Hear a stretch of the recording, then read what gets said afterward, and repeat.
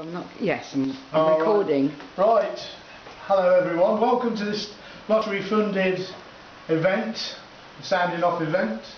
Uh, if anybody, by the way, has got your phones on yeah, if you could put them to stun, that would be cool.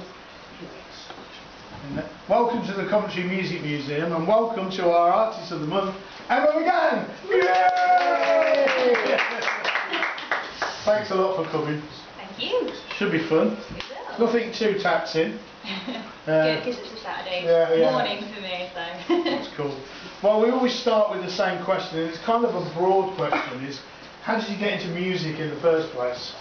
oh, okay. Um, well, I was about 13 or 14 at the time, and um, my auntie Mary brought a big old acoustic guitar back from church one day, and I decided to teach myself guitar. Um, I was inspired by a lot of music that my mum used to listen to. She used to bring home CDs, um, mostly country music, uh, which I was fine with. Um, and that's pretty much how I got into starting to play music myself. Right. Well, you just answered two questions here: early influences and why the guitar. But I mean, any particular influences? You're talking about country music. Anything stuck with you?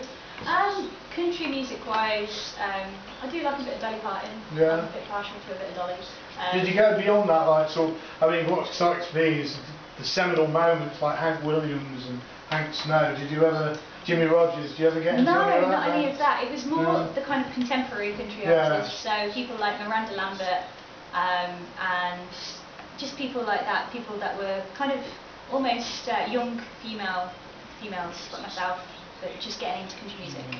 Um, and you'll, you'd see uh, people like Taylor Swift emerging from that Yeah, kind of, of course, scene into yeah. the more pop commercial side.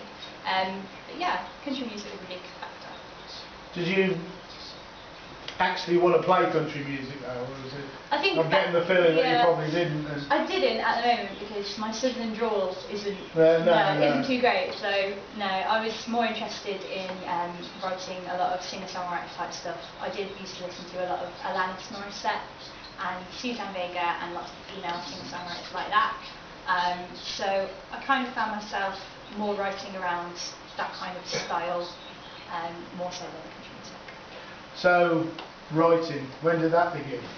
Um, And how did it begin? Probably when I was about, like, like I say, 13, 14. Can't imagine my writing was very good at all when I was that age. Um, but it kind of stemmed from listening to the singer-songwriter types. And um, I used to, I remember when I was younger, I used to kind of analyse how they'd structure a song.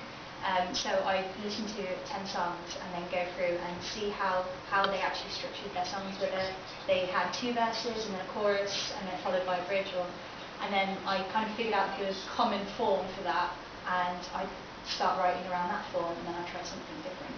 Um, so with lyrics, I've always written lyrics, but I kind of got into the analysis of like right songwriting um, at a very early stage as well. So It sounds like you've always been that into the analytical side of the Yeah. Because I mean, it- we're looking at to your career as it goes on, and it's kind of like very much like that that you've you've gone into this in a big way and looked at it, and uh, not it's it's not sort of something that's just sort of passed along. You, you're very much into what you do, and you Yeah. sort of go into everything in a big way. definitely, I, I like to And look at all, all the ins and outs. Yeah, absolutely. So it started right early. You've been like that forever, then, really. Pretty much, yeah.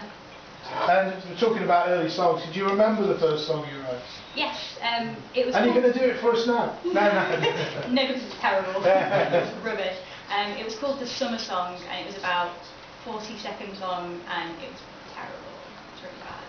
But it It's started really everything for But it started everything. And the urge to actually want to write. So, um, I guess it's significant in that sense. It Yeah. kind of kick-started everything else.